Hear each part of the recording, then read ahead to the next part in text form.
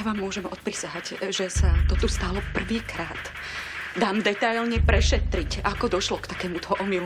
Mňa to nezaujíma. Ani ako, ani prečo. Uh, dáme vám spraviť testy DNA, aby ste mali 100% istotu. no výborne, to mi ešte pripomínajte, že som nespoznal vlastne dieťa, nie? Musel na to prísť až túto. Cudzí pediatr. Ešte vás prídem pozrieť s dovolením. Ďakujem. Pán minister, prosím vás, uh, dovolte mi, aby som túto situáciu... Vám vy... už nič nedovolím. Už ste toho postrali až až.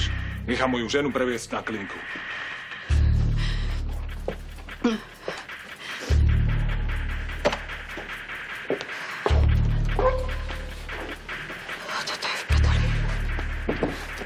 prdeli, on nás zničí, on nás roznesie v médiách, aj po súdoch. Dýchaj.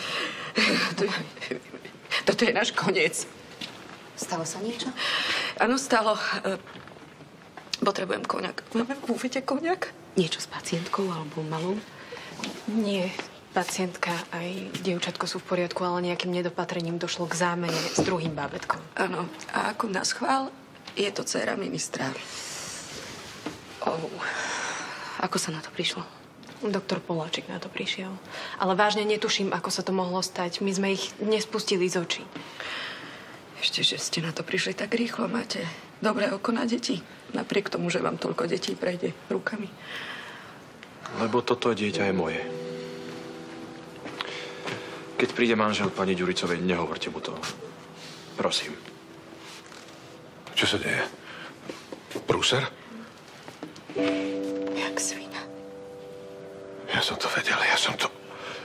A to určite nie je všetko.